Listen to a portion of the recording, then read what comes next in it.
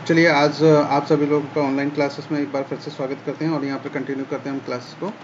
तो आज हम जो यहाँ पर डिस्कस करने वाले हैं, वो चैप्टर फाइव के बारे में हम लोग डिस्कस करेंगे। और चैप्टर फाइव में यहाँ पर हम आपको बताना चाहेंगे कि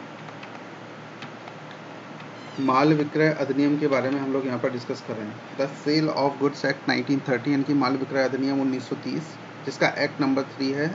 और इसका एक शॉर्ट व्यू अगर हम देखें चैप्टर फाइव का तो थोड़ा सा यहाँ ज़रा ध्यान दीजिएगा। चैप्टर फाइव में सेक्शन फोर्टी फाइव से लेकर के फोर्टी सॉरी फिफ्टी फोर तक ये डिफाइन किया गया और यहाँ पर आगे देखिए next rights of unpaid seller against the goods इस टॉपिक पर हम लोग यहाँ पर डिस्कस करेंगे, जिसको हिंदी में बोलते हैं माल पर असंदत्त विक्रेता के अधिकार। यानी कि विक्रेता के राइट्स क्या हैं, इसके बारे में हम लोग यहाँ पर डिस्कस करना चाहेंगे।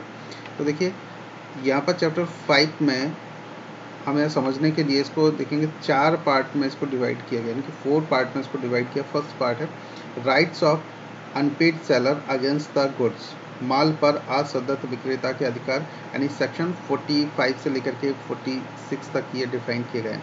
तो आप लोग को आवाज़ क्लियर आ रही है सभी को? कोई प्रॉब्लम तो नहीं है? हम लोग आगे कंटिन्यू कर सकते हैं? ओके फाइन ओके नेक्स्ट देखिए ज़रा। पार्ट सेकंड में यहाँ पे देखेंगे अनपेड सेलर्स लीन यानी कि असंदत्त विक्रेता का धारणा अधिकार। ये सेक्शन 47 से लेकर के 49 तक डिफाइन किया गया। पार्ट थ्री में यहाँ पर देखेंगे स्टॉपेज इन ट्रांजिट अभी बहन में रोकना। सेक्शन 50 से लेकर के 52 तक ये डिफाइन किए गए नेक्स्ट यहाँ पर पार्ट फोर को अगर हम देखेंगे तो transfer by buyer and seller अभी बहन में रोकना। सेक्शन 52 से लेकर के 54 तक ये डिफाइन किए गए तो ये इसका एक ये शॉर्ट व्यू था जिसका कि इसको चार पार्ट में अगर हम इसको समझ लेते हैं तो आसान थोड़ा सा हो जाएगा, इसलिए हो जाएगा। तो यहाँ पर नेक्स्ट देखिए ज़रा।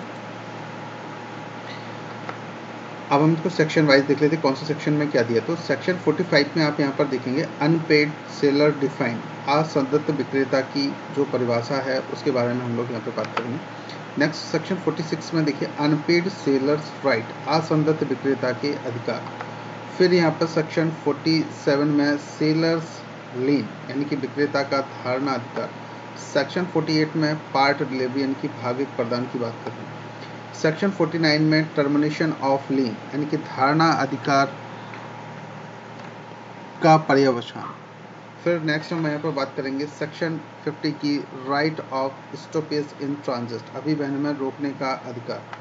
नेक्स्ट हम यहाँ पर बात करते हैं सेक्शन 51 की ड्यूरेशन ऑफ़ ट्रांजिट अभी बहन की जो कालावधि है उसकी बात करें। सेक्शन 52 में how stoppage in transit in is affected अभी बहन में रोका कैसे जाता है? सेक्शन 53 में अफेक्ट ऑफ़ सब सेल और प्लेस बाय बायर क्रेता द्वारा अनुविक्रय या गिरवी का प्रभाव।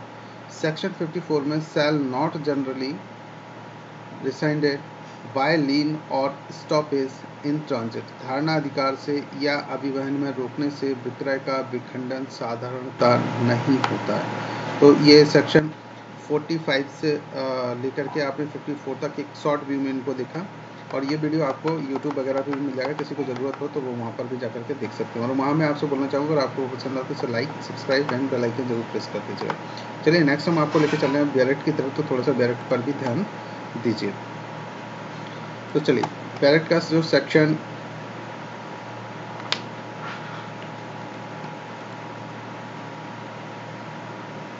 चलिए, ये देखिए डायरेक्ट मैंने लगा लिया है। चैप्टर फोर की तरफ़ हम आपको लेके चल रहे हैं। चैप्टर फोर पर थोड़ा सा ध्यान देंगे। और चैप्टर फाइव सेकेंड